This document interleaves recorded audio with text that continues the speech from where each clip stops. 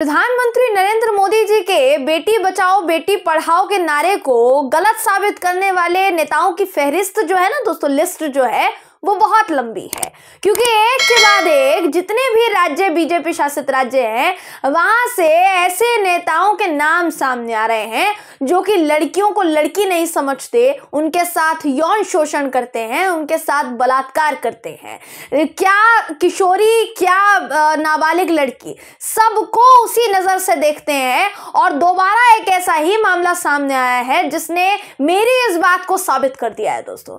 नमस्कार, मेरा नाम है जयंती झा और आप देख रहे हैं द नेशन। दोस्तों, बलात्कारी नेताओं की लिस्ट जो है, वो बड़ी लंबी चौड़ी लिस्ट है। एक और नेताजी निकलकर सामने आए हैं। आपको यकीन कर पाने में कोई मुश्किल नहीं होगी, क्योंकि ये जो नेता है, इनका नाता भी बीजेपी से ही है। ये बीजेपी में उत्तर प्रदेश के दोस्तों विधायक है, उत्तर प्रदेश से बीजेपी के विधायक हैं। कौन है? जरा इस वक्त आपके स्क्रीन पर मैं आपको वो खबर दिखा रही हूँ। इस खबर के मुताबिक बीबीसी की खबर है, उत्तर प्रदेश के सोनभद्र ज़िले की एक अदालत ने भारतीय जनता पार्टी के विधायक, जहाँ भारतीय जनता पार्टी के विधायक के खिलाफ आठ साल पुराने बलात्कार के मामले में गिरफ्तारी का वारंट जारी किया है। दुधी विधानसभा क्षेत्र से बीजेपी के एमएलए हैं राम दुलार, जिनके ऊपर बलात्कार का आरोप है। अब बीजेपी तो कहेगी कि ये तो राम के दुलारे हैं तो ये तो बलात्कारी हो ही नहीं सकते हैं, ये तो संस्कारी होंगे। लेकिन असल में क्या दुष्कर्म किया है इन्होंने, ये तो इस खबर से आप अंदाज़ा लगा सकते हैं दोस्तों। कितने साल की लड़की के साथ दुष्कर्म किया है? बताया ये जा रहा है, नाबालिग के साथ दुष्कर्म किया है। सोनभद्र के एडिशनल सेशन जज हैं राहुल मिश्र, जिन्होंने बीजेपी विधायक के खिलाफ गिरफ्तारी का वारंट जारी किया है दोस्तों।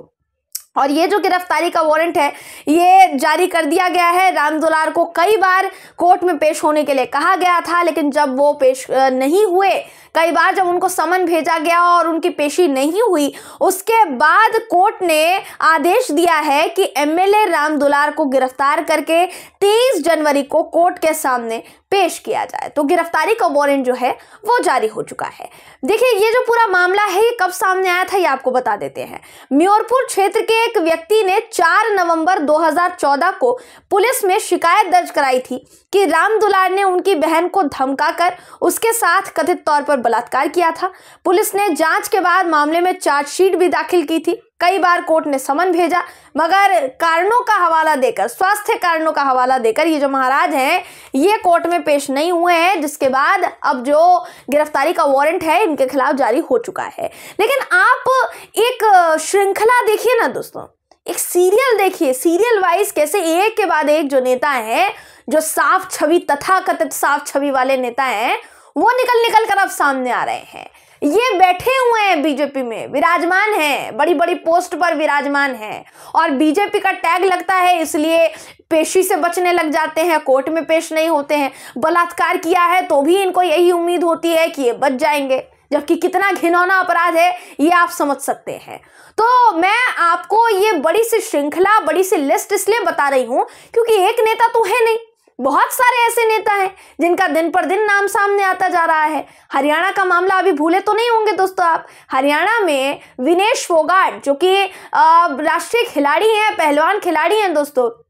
उन्होंने क्या आरोप लगाया है ब्रजभूषण शरण सिंह पर, जो कि सांसद है यूपी से और भारतीय कुश्ती महासंघ के अध्यक्ष हैं, उन पर उन्होंने यौन शोषण का आरोप लगाया है। और यौन शोषण का आरोप सिर्फ़ एक लड़की ने नहीं लगाया है, उनका कहना है कई लड़कियों का यौन शोषण अध्यक्ष साहब ने किया है, ना सिर्फ़ अध्यक्ष ने किया है, बल्कि अध्यक्ष से जो कनेक्टेड कोच होते थे, वो भी लड़कियों का, महिला खिलाड़ियों का यौन शोषण करते थे। तो आप इस बात को समझिए एक मामला ठंडा नहीं हुआ था, दूसरा मामला भी आ गया सामने, और ये जो लिस्ट है, ये लंबी होती चली जा रही है। हम नहीं निकाल रहे हैं मामले, खुद खबरें सामने आ रही है दोस्तों, जो बता रही है चीख चीख कर चिल्ला चिल्ला कर बता रही है कि बीजेपी पार्टी जो है, उसमें जितने भी नेता हैं, वो कितने संस्कारी हैं और कितने सुधरे हुए हैं, कितनी साफ़ छवि के नेता हैं कि बीजेपी ने उनको बहुत बड़े बड़े पदों पर विराजमान करवाया हुआ है। अब जरा ये जो खबर सामने आ रही है सोनभद्र से, इस पर किन किन लोगों ने क्या क्या प्रतिक्रिया दी है? दोस्तों, एक के बाद एक मैं आपको उनके ट्वीट दिखा देती हूँ।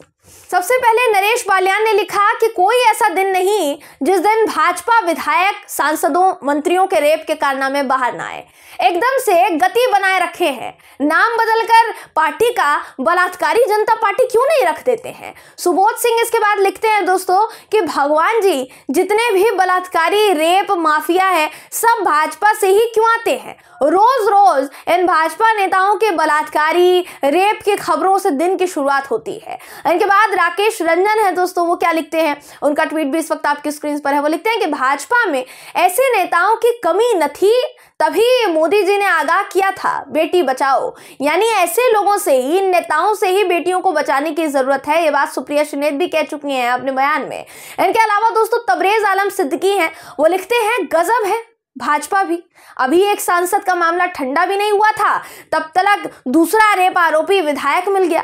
भाजपा एक लौती पार्टी है, जहाँ हर दूसरा तीसरा कार्यकर्ता रेप आरोपी मिल जाता है। मज़े की बात तो यह है कि पूरी पार्टी की महिला इस बात पर चुप रहती है। सही बात है दोस्तों, आप देख लीजिए ना, महिला एवं बाल विकास मंत्री स्मृति ईरानी जी की भी तो बोली नहीं फूटती है ना इन मामलों में। इनके अलावा महिषासुर नाम के यूज़र ने लिखा कि अब अदानी जी या अंबानी जी पता नहीं बीबीसी को खरीद पाएँगे कि नहीं नहीं, ये ज़रूर लग रहा है कि अपने यहाँ बीबीसी का केबल कनेक्शन काट कर सरकार इसका बीसी करने वाली है। यहाँ पर कहीं ना कहीं इनका कहना है कि बीबीसी जो है निष्पक्ष खबरें पहुँचाने का काम कर रहा है। शायद सरकार इन पर भी गाज गिरा दे। अवधेश कुमार गुप्ता है, वो लिखते हैं, संस्कारी पार्टी के एक और सदाचारी माननीय।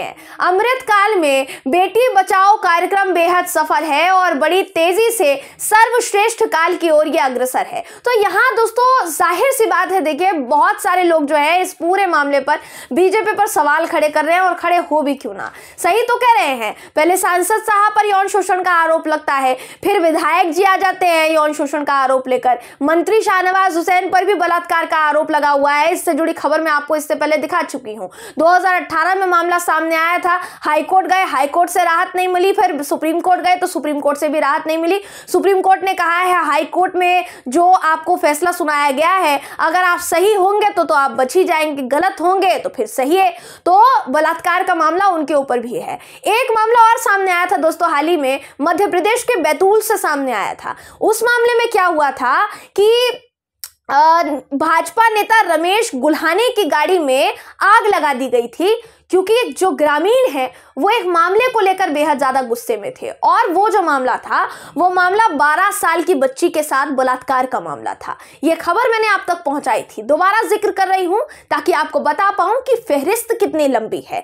देखिए दोस्तों, अगर इस खबर की मैं बात करूँ तो गाँव वालों ने इस खबर के बाद तोड़फोड़ की थी रमेश गुल्हाने के घर में। जिस बच्ची के साथ बलात्कार हुआ था, उसने दैनिक भास्कर को क्या बताया? इस वक्त आपकी स्क्रीन पर वो खबर है।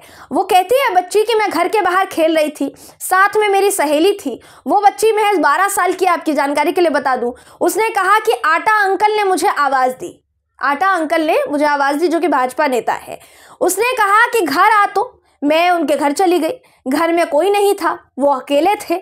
आ, सहेली को उसकी अम्मी ने बुलाया तो वो अपने घर चली गई। इसके बाद मुझे उसने बिस्तर पर लेटने को कहा। उन्होंने गलत काम किया घर पर किसी को भी बताने से मना किया। बच्ची ने कहा, वो मुझे कभी दो सौ रुपये देते थे, कभी तीन सौ रुपये देते थे। कहते थे, इस काम का किसी को मत बताना, जब बुलाऊं, तब आ जाना। ये मामला है। अंकिता भंडारी का मामला याद होगा उत्तराखंड का आपको। उसमें भी बीजेपी नेता का नाम सामने आया है। तो कुल मिलाकर ऐसे घटिया मानसिकता के लोग, ओछी मानसिकता के लोग, नीच मानसिकता के लोग भाजपा में भरे पड़े हैं। और एक के बाद एक इनकी जो खबरें हैं, ये निकलकर सामने आ रही है, जो बताती हैं कि भैया, कितने संस्कारी ब्राह्मण नेता हैं ये सबके सब। और कितने ज़्यादा संस्कारी हैं कि महिला खिलाड़ियों तक तक को नहीं छोड़ते। जो महिला खिलाड़ी देश का नाम रोशन करती हैं, उनको नहीं छोड़ते। उनके साथ भी यौन शोषण होता है। साथ ही आप देख सकते हैं, सोनभद्र से क्या मामला सामने आया है। तो ये जो तमाम मामले हैं दोस्तों, ये परिभाषा बता रहे हैं भाजपा की। जो परिभाषा अब तक आपको नहीं समझ में आई है तो इन खबरों का आकलन कीजिए, परिभाषा खुद ब खुद समझ में आ जाएगी। बहरहाल, इस खबर पर आपकी राय क्या है, कमेंट करके ज़रूर बताइएगा। वीडियो अगर आपको पसंद आया हो तो वीडियो को लाइक और शेयर करना ना भूलें। फिर मुलाकात होगी आपसे किसी ऐसी ही खबर के साथ। तब तक के लिए, नमस्कार।